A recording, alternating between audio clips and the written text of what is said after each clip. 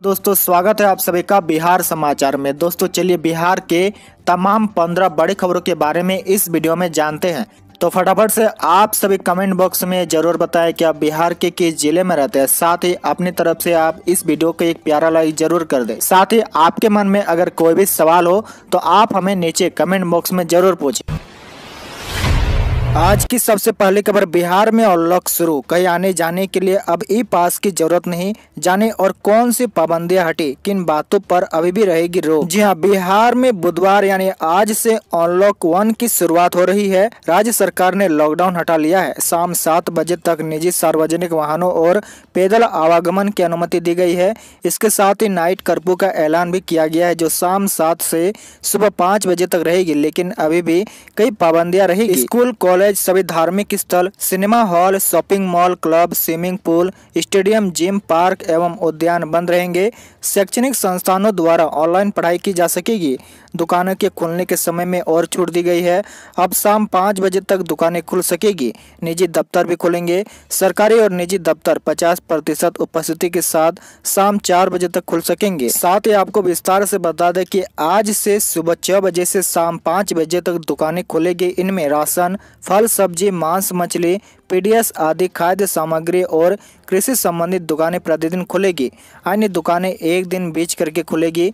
कौन से समूह की दुकानें किस दिन खुलेगी, यह संबंधित जिलाधिकारी तय करेंगे। सभी सरकारी और निजी कार्यालय 50 प्रतिशत उपस्थिति के साथ शाम चार बजे तक ही खुलेंगे। सरकारी कार्यालय में आंगतुकों का प्रवेश वर्जित रहेगा। आवश्यक सेवाओं से संबंधित कार्यालय यथावत काम करेंगे।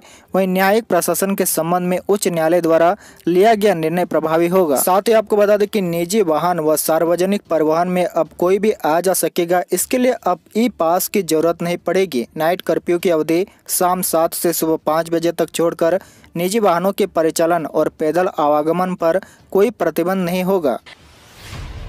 अगली बड़ी खबर, बिहार में मुखिया सरपंच का पावर नहीं होगा सीज। परामर्श समिति के स्ट्रक्चर पर नीतीश कैबिनेट ने लगाई मुहर। जी हाँ बिहार में पंचायत चुनाव न होने के बाद भी मुखिया सरपंच और जिला परिषद सहित तमाम जनप्रतिनिधियों का पावर बरकरार रहेगा। यह फैसला बिहार के कैबिनेट बैठक में लिया गया है। पंचायती राज विभाग ने इस संबंध में नोटिफिकेशन भी जारी कर दिया है। विभाग ने कहा कि पंचायत में परामर्श समिति के अध्यक्ष मुखिया ही होंगे। साथ ही आपको बता दें कि विभाग की ओर से जारी नोटिफिकेशन में कहा गया है कि तीन स्तर पर परामर्श समिति बनाई गई है। पहला ग्राम स्तर, दूसरा ब्लॉक स्तर और तीसरा जिला स्तर पर। ग्राम स्तर पर मुखिया परामर्श समिति के अध्यक्ष होंगे, जबकि पंचायत समिति के स्तर पर प्रमुख और जिला समिति के स्तर पर जिला परिषद प्रमुख इस कमेटी के अध्यक्ष होंगे।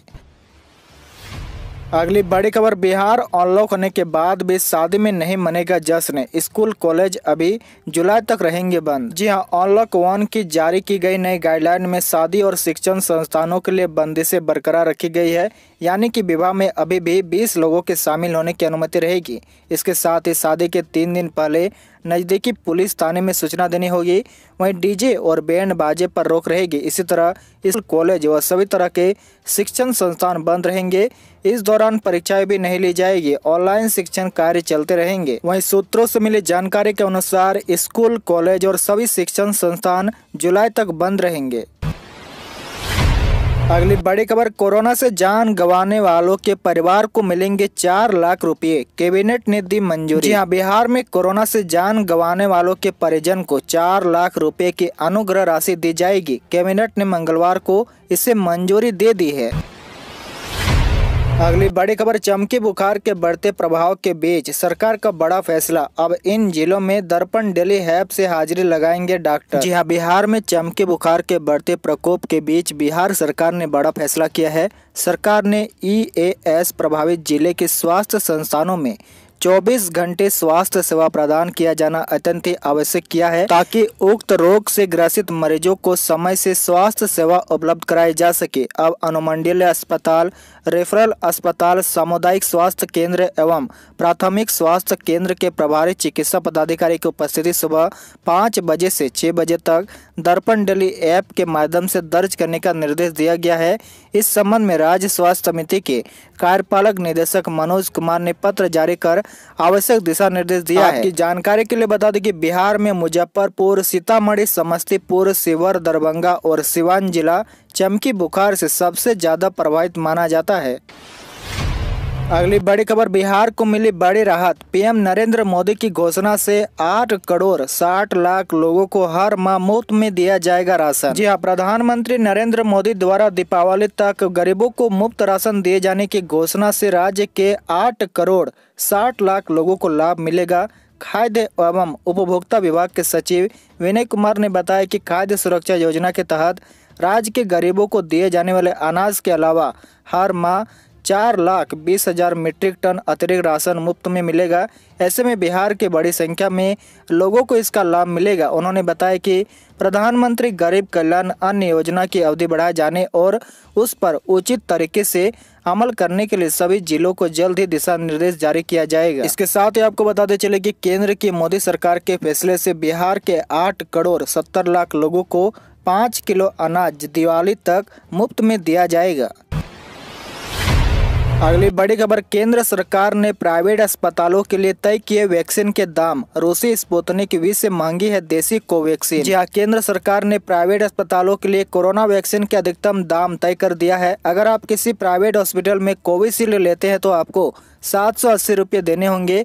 इसके अलावा कोवैक्सीन के लिए चौदह सौ दस और रूसी वैक्सीन स्पुतनिक वी के लिए ग्यारह सौ पैंतालीस रुपये खर्च करने होंगे। आपको बता दें कि इसमें प्रतिशत जीएसटी के साथ साथ डेढ़ सौ रुपये का सर्विस चार्ज भी लगेगा।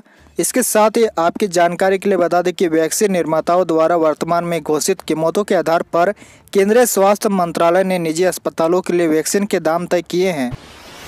अगली बड़ी खबर बिहार में पिछले 24 घंटे में मिले मात्र 711 कोरोना के नए मरीज़। सुपौल में सबसे ज़्यादा छियासठ संक्रमित मिले। जी हाँ, बिहार में कोरोना की रफ्तार काफ़ी धीमी हो गई है। स्वास्थ्य विभाग की ओर से जारी ताज़ा आंकड़े के मुताबिक पिछले 24 घंटे में राज्य में कोरोना के मात्र 711 नए केस मिले हैं। इसके साथ ही पूरे बिहार में एक्टिव केसों की संख्या घटकर अठहत्तर तक पहुँच गया है। हालाँकि नए केस मिलने के मामले में राजधानी पटना दूसरे नंबर पर है। सबसे पहले पायदान पर सुपौल जिला है, जहाँ छियासठ नए केस मिले हैं, जबकि दूसरे नंबर पर पटना में पैंसठ नए मरीज़ मिले हैं।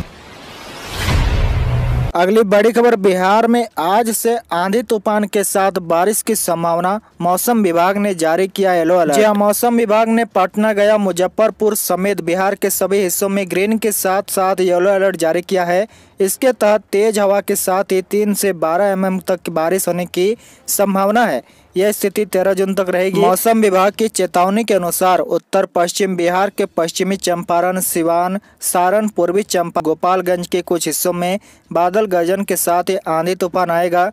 उत्तर, मध्य बिहार के सीतामढ़ी, मधुबनी, मुजफ्फरपुर, दरभंगा, वैशाली शिवर और समस्तीपुर में भी यही स्थिति रहेगी। इसके अलावा दक्षिण पूर्व और दक्षिण मध्य बिहार के लिए बारह जून तक येलो अलर्ट जारी किया गया है।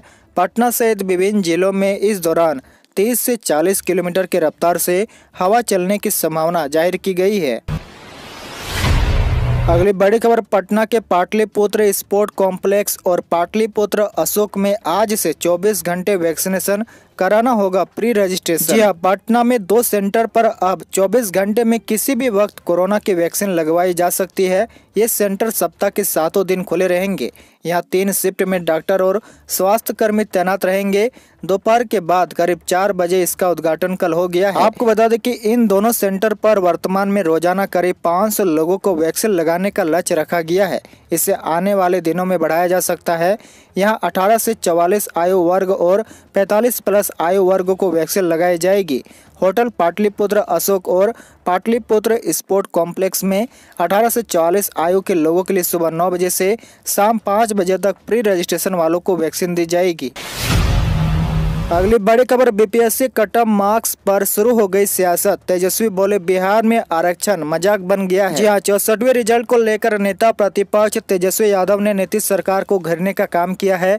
कट ऑफ़ मार्क्स को लेकर तेजस्वी ने सरकार पर सवाल भी खड़े किए हैं।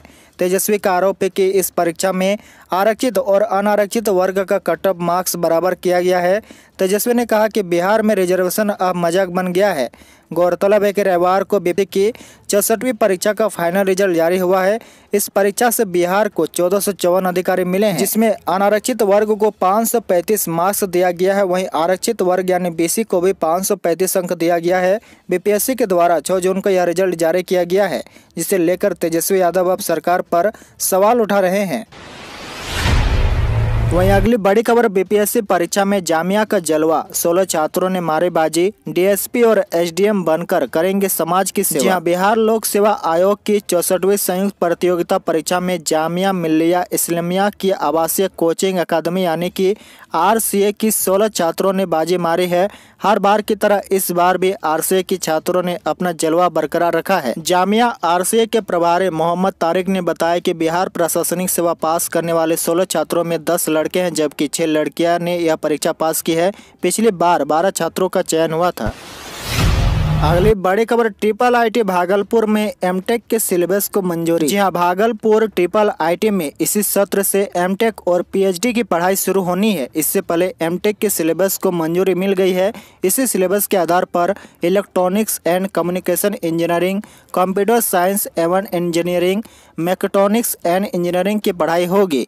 मंगलवार को भागलपुर ट्रिपल आईटी के निदेशक प्रोफेसर अरविंद चौबे की अध्यक्षता में बोर्ड ऑफ़ स्टडी की ऑनलाइन बैठक हुई। इसमें बारी बारी से तीनों विभाग के सिलेबस को मंजूरी दी गई।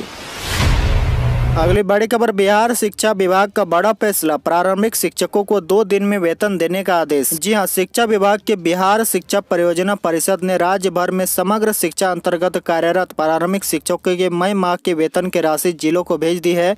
साथ ही आदेश दिया कि दो दिनों में शिक्षकों का वेतन भुगतान कर दे। बीएपी के राज्य परियोजना निदेशक संजय सिंह ने मंगलवार को सभी अड़तीस जिलों को आठ करोड़ तैतीस लाख पचपन हज़ार तीन सौ बत्तीस मुहैया कराए हैं। उन्होंने जिला शिक्षा पदाधिकारियों को भेजे पत्र में स्पष्ट किया कि उपलब्ध कराई गई राशि से दो दिन के अंदर समग्र शिक्षा के शिक्षकों का वेतन भुगतान कर राज्य मुख्यालय को सूचित करें। और अंत की सबसे बड़ी खबर, तेरह जून से चलेगी सहरसा आनंद बिहार स्पेशल ट्रेन। फिर से शुरू की गई चौदह ट्रेनें 11 से 19 जून तक कैंसिल रहेगी। भुवनेश्वर, नई दिल्ली के बीच तीन जोड़ी ट्रेनें। जी हाँ पैसेंजर की सुविधाओं का ख्याल रखते हुए रेलवे ने 13 जून से सहरसा और आनंद बिहार टर्मिनल के बीच स्पेशल ट्रेन चलाने का फैसला लिया है। यह स्पेशल ट्रेन सहरसा से आनंद बिहार टर्मिनल के बीच हर रविवार व गुरुवार को, जबकि आनंद बिहार टर्मिनल से सहरसा के बीच चौदह जून को प्रत्येक सोमवार व शुक्रवार को अगले आदेश तक चलाई जाएगी। इसके अलावा पिछले महीने पैसेंजर की वजह से रद्द किए गए चौदह स्पेशल ट्रेनों के परिचालन को फिर से बहाल किया जा रहा है जो 10 जून से शुरू होगी। इसमें बरौनी लखनऊ के साथ ही कैपिटल एक्सप्रेस और पटना बांद्रा एक्सप्रेस भी शामिल है। पूर्व मध्य रेलवे के स्टेशन से होकर भुवनेश्वर से नई दिल्ली के बीच चलने वाली तीन जोड़ी स्पेशल ट्रेनों को 11 से 19 जून तक कैंसिल कर दिया गया आज के लिए आपका सवाल बताए कि बिहार में 15 जून के बाद स्कूल कॉलेज और शिक्षण संस्थान को खोलने चाहिए या नहीं? इसका जवाब आप हमें नीचे कमेंट करके ज़रूर बताएँ।